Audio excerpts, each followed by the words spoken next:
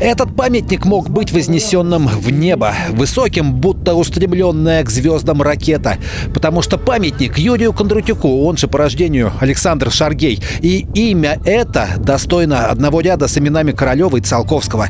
Советский ученый-изобретатель родился в Полтаве в 1897 году и уже в 17 лет начал работать над проектами межпланетных путешествий. Это он придумал, как использовать гравитационные поля планет для полетов. Это он рассчитал оптимальную траекторию полета к Луне, чем и воспользовались американцы. Использовать для таких экспедиций спускаемые модули – все его же идея, Кондрутюка. А в 41-м он вступил добровольцем в Народное ополчение Москвы и погиб на Болховской земле у деревни Кривцова в феврале 1942 года. Здесь, рядом с высотой, на которой и находится Кривцовский мемориал.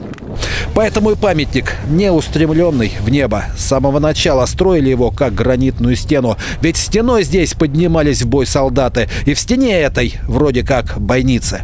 Кстати, про строительство было это пять лет назад. Почти всю работу сделали поисковики из межрегионального объединения «Костер». Говорят, когда копали яму под фундамент, вдруг нашли останки бойца. Такие это места. Здесь погибло 35 тысяч наших. И кто знает, может и сам Кондратюк смотрел тогда на небо не с мыслями о звездах, а о Боге.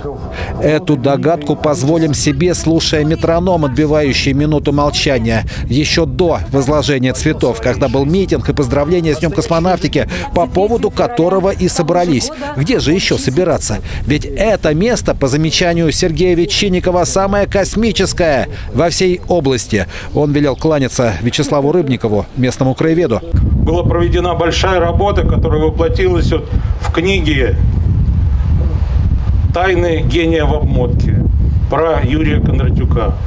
По заверению Ассоциации космонавтики России, это наиболее полная информация в этой книге. Можно сказать, что там были прорывные моменты, которые были подтверждены документально – Книгу эту дарили победителям районного конкурса детского рисунка, объявленного в честь 12 апреля. Ее, кстати, легко найти по названию и выкачать из интернета, чтобы не ограничиваться лишь справкой из этого сюжета. А за первые места лучших художников награждали кубками, переделанными из гильз, которые поисковики нашли в окрестностях. Еще было зачитано поздравительное письмо от космонавта Сергея Крикалева. Сам он занят.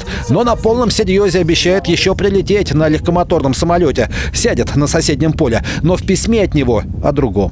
Мечтая о космосе, мы заставляем себя развиваться и идти вперед, достигать все новых высот, доказывая, что для человека нет ничего невозможного, а любые сложности и испытания – это всего лишь путь через тернии к звездам.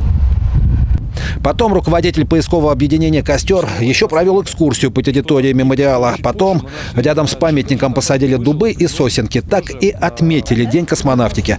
А ты, зритель, хотя бы смотрел наверх в этот день, заглядываясь небом. Сергей Быковский, Дмитрий Дергачев, телеканал «Первый областной».